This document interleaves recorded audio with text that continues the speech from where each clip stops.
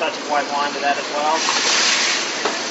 And lemon juice. If there was such a thing as smell-o-vision, then this story would be one that you wouldn't want to miss. The Homestead restaurant in Jacksonville Beach has a history that spans nearly 60 years.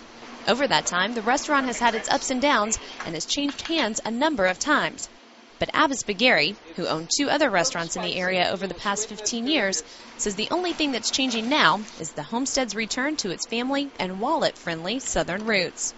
A lot of history, as well, not only for the southern dishes, but also the being haunted inside the building. So it, I became more intrigued that really became a challenge that I'm going to open it and uh, make it as popular as it used to be. So here we are.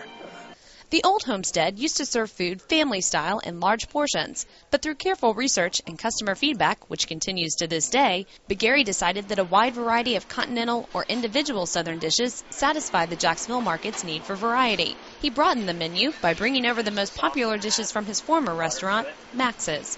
Basically, was extremely limited because all the uh, dishes were served family style on a table and as a result, you couldn't do an extensive menu. So I felt like we made a really good decision to combine the two menu. Fresh crawfish tail, also very Cajun, very southern. Despite his 40 years as a chef, Bagheri spent months traveling the South before taking on the restaurant to be sure he knew good Southern food. And after months of renovations and a few strange occurrences blamed on the long reported ghost, the Homestead restaurant opened again in August of this year.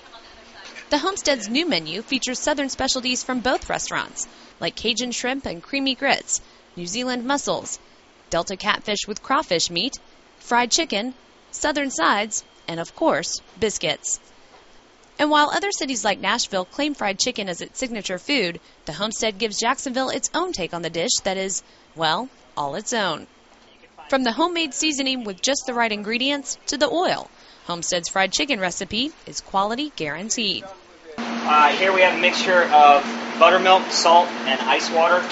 Okay, each order, each individual dinner comes with four pieces. That's one thigh, one breast, one wing, and one leg. This is a standard chicken breader mixed with regular all-purpose flour uh, you can find this chicken breader in any uh, grocery store, any local grocery store. It's about half and half flour and a chicken breader. Okay, you want to make sure that it's fully coated. Drop it directly into the oil so it has lots of room to move around and do its thing. We use the best quality, either canola oil or uh, soybean oil, which is a little more expensive than others, but it's quality. When you taste it, you know that you had the best chicken. But the higher quality is not reflected in the price. The homestead's return to its roots included a return to affordable eating.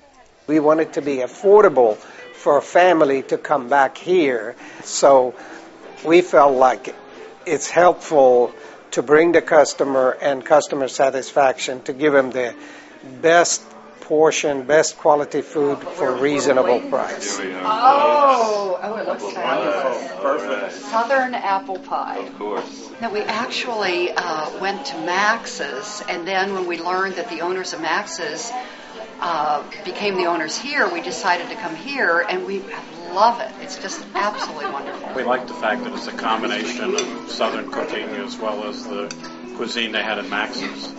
So it's a nice combination. The Homestead restaurant is open seven days a week for dinner and on Sunday for brunch. You can learn more by visiting their website at www.homesteadrestaurant.us. Oh, and about that ghost. I don't know if I say I've seen the ghost, but I have seen the action that I made me. First, I wouldn't believe that there's a ghost here, but honestly, I feel there is.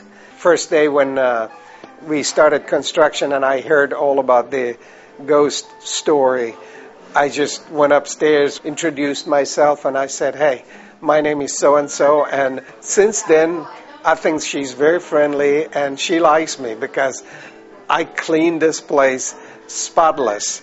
I think uh, she's she's going to like me. so, if fried chicken is one of Nashville's signature foods, what's Jacksonville's dish?